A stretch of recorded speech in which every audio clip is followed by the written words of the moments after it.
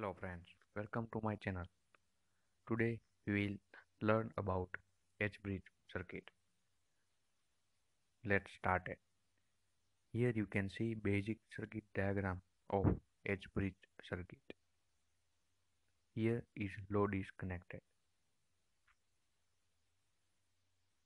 There are four switches are used. Now if we turn on switch 1 and 4 current flows like this.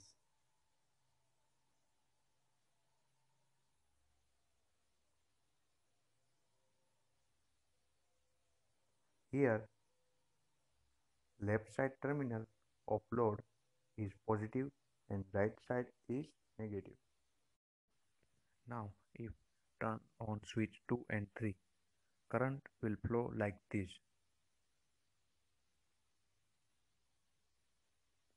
Here in this case left side of load is negative and right side of load is positive.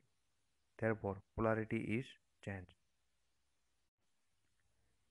Now we are using N-channel MOSFET as a switch because MOSFET can handle high power. Here I use IRFZ44N MOSFET. This MOSFET is best for this circuit because it has integral reverse diode. Here is IRFZ44N. Pin diagram is gate, drain and source.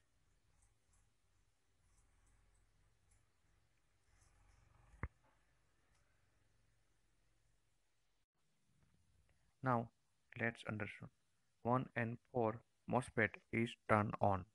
Therefore, current will flow like this.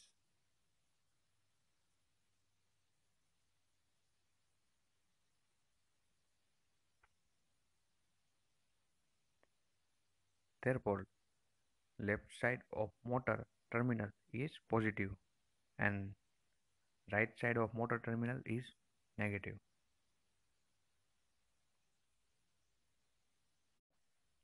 Now if MOSFET 2 and 3 is turned on. So current will flow like this.